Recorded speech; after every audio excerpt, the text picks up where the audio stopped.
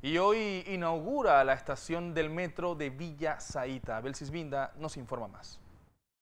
Este jueves 25 de abril inaugurarán la estación de Villa Zaita como parte del proyecto de extensión de la línea 1.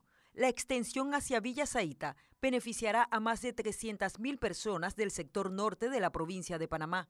El Metro de Panamá proyecta que una vez inaugurada la estación de Villa Zaita, se incrementará en un 4% la cantidad de usuarios que se movilizan por la línea 1. Por día, estiman movilizar 40.000 usuarios, sumados a los 290.000 que ya utilizan el sistema, superando así los 330.000 usuarios diarios. Actualmente, el metro se mantiene realizando pruebas de operación para robustecer el sistema.